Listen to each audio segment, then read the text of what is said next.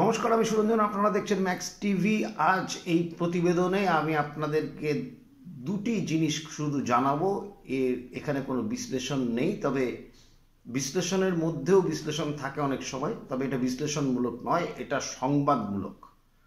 তো প্রতিবেদনটিতে আপনারা জানতে যেটা পারবেন সেটা হচ্ছে এই যে ভারতীয় দল ইতিমধ্যে সাউথ আফ্রিকা পৌঁছে গিয়েছেন এবং তার আগে ভারতীয় দলের হেড কোচ রাহুল দ্রাবিড় নির্দিষ্ট করে কিছু কথা বলেছেন। সেটা হচ্ছে বিশেষ করে ব্যাটসম্যানদের বলেছেন যে এইবারে কিন্তু ব্যাটসম্যানদেরকে কিন্তু অনেক বেশি দৃঢ় প্রতিজ্ঞ হতে হবে, অনেক বেশি ক্ল্যারিটি থাকতে হবে তাদের খেলার মধ্যে এবং বিশেষ করে পেশেন্স হারালে চলবে না তখন যখন তারা নাকি সেট তার কারণ একত্রিশ বছরে আমরা সাউথ আফ্রিকাতে কিন্তু কোনো টেস্ট সিরিজ জিতিনি, টেস্ট ম্যাচ জিতেছি কিন্তু টেস্ট সিরিজ জিততে পারিনি।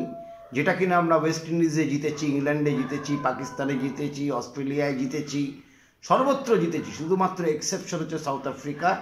এবং এই কারণে রাহুল দ্রাবিড় কিন্তু অত্যন্ত কড়া মনোভাব পোষণ করেছেন ব্যাটসম্যানদের প্রতি যে আমাদের বোলাররা কিন্তু যথেষ্টভাবে আমাদেরকে এগিয়ে রাখেন। সবসময় আমাদেরকে ম্যাচের মধ্যে রাখে, কিন্তু আমরা বাইরে, বিশেষ করে সাউথ আফ্রিকার মতো জায়গায় আমরা যেটাতে ডাউনফল আমাদের হয়েছে সেটা হচ্ছে ক্লাস্টার্স অফ কোল্যাপস কোল্যাপস শুধু নয় মানে আমরা একটা দিন, হয়তো দুটো দিন, পাঁচ দিনের ম্যাচ, দুদিন খুব ভালো খেললাম, তিন দিনের মাথায় খুব গুরুত্বপূর্ণ দিনে এমনভাবে কোল্যাপস করলাম সেখান থেকে আমাদের ম্যাচকে হেরে যেতে হলো। আমরা সেঞ্চুরিয়ানে কোনো দিন জিতিনি লাস্টবার আমরা জিতেছিলাম, কিন্তু তারপরে আমরা হারি, দু জায়গাতেই হারি।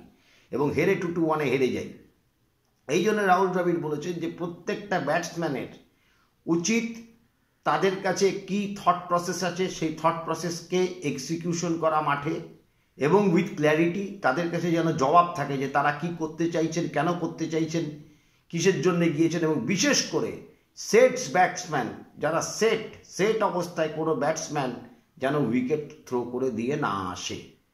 আর বোলারদের ক্ষেত্রেও একই ব্যাপার। যদিও বোলারদের সম্পর্কে উনি বিশেষ কিছু রাহুল দ্রাবিড় বলেনি, সমস্তটাই ব্যাটসম্যানকে নির্ভর করে। তার কারণ হচ্ছে, এই টিমে কিন্তু এবার রোহিত শর্মাকে দেখা যাবে, যাদের অভিজ্ঞতা আছে পূর্বে খেলার। বিরাট কোহলিকে দেখা যাবে। বিরাট কোহলি কিন্তু সাউথ আফ্রিকাতে পঞ্চাশ ষাট করলেও সেইভাবে কিন্তু একশো রানের বড় ইনিংস কিন্তু বিরাট কোহলি নেই।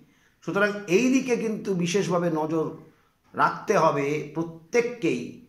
যে আমরা সেঞ্চুরিয়ানে যে জিতেছিলাম, সেখানে কিন্তু অসাধারণ একটি ইনিংস খেলেছিলেন হচ্ছে কে এল রাহুল সুতরাং টিম কম্বিনেশন কী হবে সেটাও যেরকম একটা ফ্যাক্টর ফ্যাক্টর হচ্ছে ব্যাটসম্যানদেরকে খুব দৃঢ় প্রতিজ্ঞ হতে হবে, তাদের থট প্রসেস ক্লিয়ার হতে হবে, তাদের মধ্যে আন্ডারস্ট্যান্ডিং ঠিক থাকতে হবে এবং সব থেকে যেটা গুরুত্বপূর্ণ তারা যেটা করতে চাইছেন সেটাকে নেটে ভীষণভাবে হার্ড প্র্যাকটিস করতে হবে। এবং সেটা যেন এক্সিকিউশনটা মাঠে সঠিকভাবে হয়, সেই ক্ষেত্রে তাদের নজর দিতে হবে। এবং সেট অবস্থায় কোনো অবস্থাতেই ধৈর্যচ্যুতি ঘটিয়ে একটা বাজে শট খেলে চলে আসা যাবে না। এইটা হচ্ছে রাহুল দ্রাবিড়ের মূল বক্তব্য।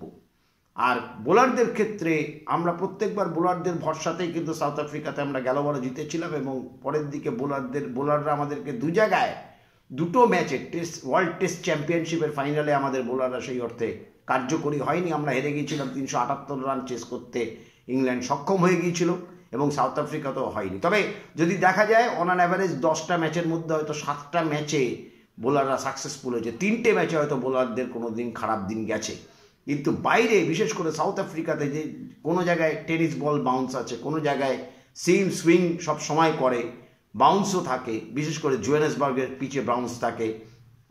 কেপটাউনের উইকেট একটু আলাদা হয় কেপটাউন নিউল্যান্ডসের উইকেট একটু আলাদা হয় সেঞ্চুরিয়ানের উইকেট একটু আলাদা হয়। কিন্তু সিম সুইং এই বিষয়টা কিন্তু থাকবে। সুতরাং সাউথ আফ্রিকাও কিন্তু নতুন করে তাদের দলকে সাজাচ্ছে। টেস্ট টিমেও তাদের দল আলাদা। টিম্বা বাবুমা তাদের ক্যাপ্টেন এবং আমাদের অধিনায়ক রোহিত শর্মা ভার নেবেন। সুতরাং এটা রোহিত শর্মা থেকে শুরু করে সমস্ত প্লেয়ারদের কাছে এই বার্তাটা চলে গিয়েছে যে তাদের কিন্তু আর সেই জায়গা নেই যে তারা ব্যাট করতে নেবে হঠাৎ করে খুব ভালো খেলতে খেলতে একটা রেসলেস একটা বাজে শট মেরে আউট হয়ে চলে এলেন। সেইটা কিন্তু করা যাবে না এবং সেইটাকে কিন্তু নেটেও কার্যকরী করতে হবে।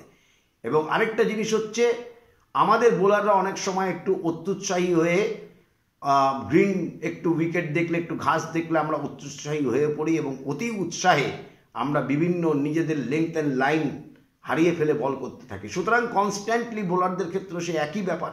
তাদেরকে গুড লেংথ এরিয়ায় বল করতে হবে ব্যাক অফ লেংথ বল করতে হবে দ্য ডেক বোলার যারা তাদেরকে সেইভাবে বল করতে হবে এবং সুইং এবং পেস সুইং সিমের ওপরে নির্ভর করতে হবে। সুতরাং স্বামী ওখানে অত্যন্ত গুরুত্বপূর্ণ ভূমিকা পালন করতে পারে। স্বামী যদি ঠিক অবস্থায় থাকে, সুস্থ হয়ে যায়, সুস্থ হবে আশা করা যায়। সুতরাং রাহুল দ্রাবিড়ের যে বক্তব্য, সেই বক্তব্যের মধ্যে ভারতীয় দলের ব্যাটসম্যানদের কাছে ইতিমধ্যে মেসেজ পৌঁছে গেছে। বিশেষ করে যশস্বী জয়সওয়াল শুভমন গিল এদের মতো প্লেয়ারদের কাছে মেসেজ পৌঁছে গেছে যে তোমরা অ্যাটাকিং ক্রিকেট খেলো, কোনো অসুবিধা নেই। তোমাদের থট প্রসেস যদি মনে হয় যে অ্যাটাকিং ক্রিকেট খেলবে, তাহলে সেটাই খেলো, কিন্তু সেটার এক্সিকিউশনটা যেন সঠিক হয় এবং তোমরা কোনো অবস্থাতেই যেন তোমাদের উইকেট ছুড়ে দেওয়া আশাটা কিন্তু কোনোভাবেই এটা অন্তত সাউথ আফ্রিকাতে এবছর স্পেয়ার রাহুল দ্রাবিড় যে খুব একটা ভালোভাবে নেবেন না, এটা কিন্তু খুব ক্লিয়ার মেসেজ সুতরাং এই মেসেজটি আপনাদেরকে জানানোর ছিল। পরবর্তী সময় আমরা বিশ্লেষণে আসব। সাউথ আফ্রিকায় ভারতীয় দল পৌঁছে গিয়েছে। টি টোয়েন্টি সিরিজ শুরু হয়ে যাবে রোববার থেকে। সুতরাং তার আগে অবশ্যই একটা প্রতিবেদন থাকবে, বিশ্লেষণ থাকবে যে কি হতে পারে, কীরম ধরনের টিম কম্বিনেশন হতে পারে। তো সব মিলিয়ে আপনাদেরকে অনেক অনেক ধন্যবাদ। আপনাদের যদি এই প্রতিবেদনটি ভালো লেগে থাকে, তাহলে আপনারা অতি অবশ্যই চ্যানেলটিকে সাবস্ক্রাইব করতে ভুলবেন না। কমেন্টস করবেন লাইক করবেন শেয়ার করবেন।